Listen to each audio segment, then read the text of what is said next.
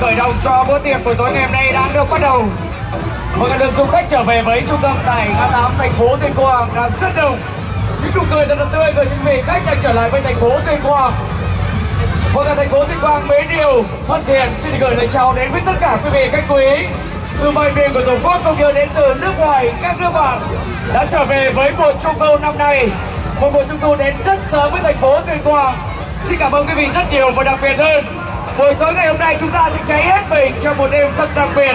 Một ngày quốc khánh mùng 2 tháng 9 năm 2024 Một lần nữa xin kính mời toàn thể quý vị, Hãy cả trường trở về với trung tâm của ngã tám thành phố Tuyên Quang.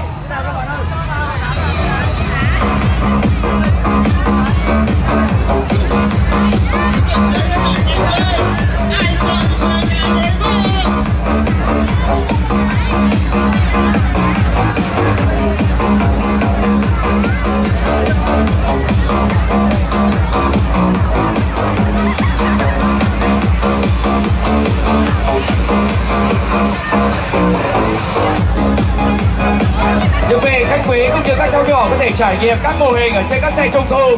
À, nhưng cũng xin gửi lời đến toàn thể quý vị và quý vị rất thông cảm xe mô hình của đơn vị tổ chức sự kiện Dạ Hưng và Thuận Loa Tuyên Quang. Và ngày hôm nay chở chở rất nặng cho nên tất cả quý vị à, vui lòng thông cảm sẽ không di chuyển lên xe của ban tổ chức chúng tôi. Xin được trân trọng cảm ơn quý vị có thể trải nghiệm cũng như chụp hình hình đã tôi rất đẹp và những biểu tượng tuyệt vời. Xin cảm ơn quý vị rất nhiều.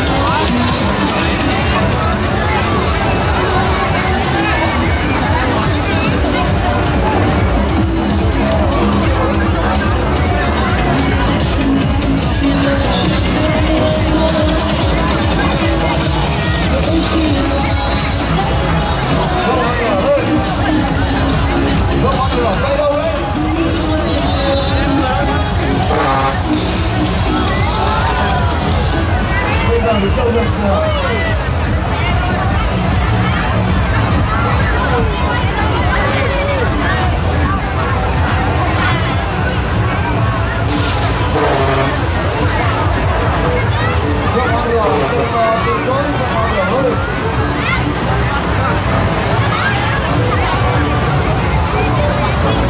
kính quý khách, có đã được thăm cần là một số người phát giúp cho miễn phí ạ. Đấy tổ quốc và trái tim ạ. Và các bạn trẻ ơi, các bạn trẻ tình nguyện giúp hộ với ạ. Vâng. Đây ạ, à, rất mong mọi người hãy dám lên trên ờ, gương mặt xinh đẹp của mình. Vâng, bám cờ tổ quốc và trái tim yêu thương. Vâng, à lệnh trân trọng cảm ơn. Vâng, chúng ta đừng mất đi ạ, chúng ta hãy trân trọng tổ quốc mình và hãy dám trên báo mình. Ngày hôm nay sẽ là một kỷ lục, một kỷ lục sắc cờ đỏ. Cờ đỏ sao vàng.